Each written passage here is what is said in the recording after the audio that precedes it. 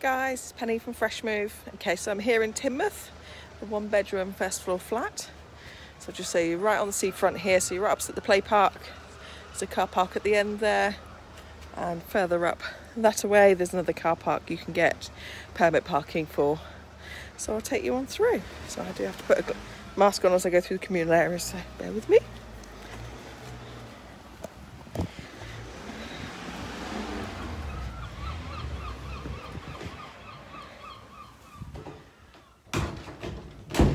Spoken to the landlord about the communal areas and he has said that he will be um, redecorating.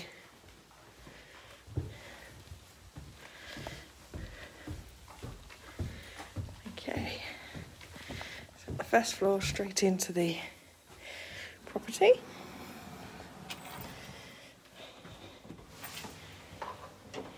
So we're into like a little hallway, hang your coats and things.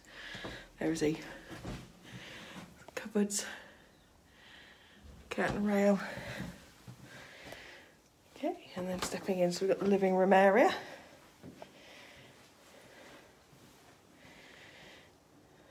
So, living room come kitchen, so you've got space there for a small fridge freezer, washing machine point, electric oven and hob.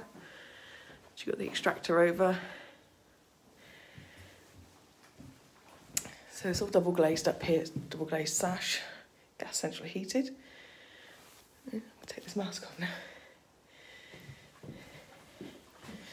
Then through into the bedroom.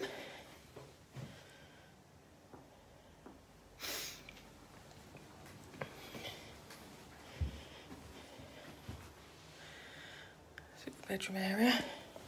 So you would get a double bed in here and wardrobe, etc.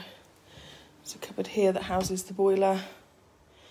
It's also a great storage place. You could put up some hanging rails, to be honest, and have that as storage as well for bits and pieces. And then into the bathroom, which is off your bedroom. So you've got a full size sink with vanity unit. Bath with shower over, that comes straight off the boiler. So it's a combi boiler. Got heated towel rail.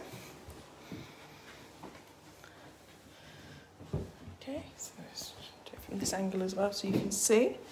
So it is a double bedroom. You can see where marks where somebody's had a wardrobe there. And you can see the marks on the floor where the double bed used to be.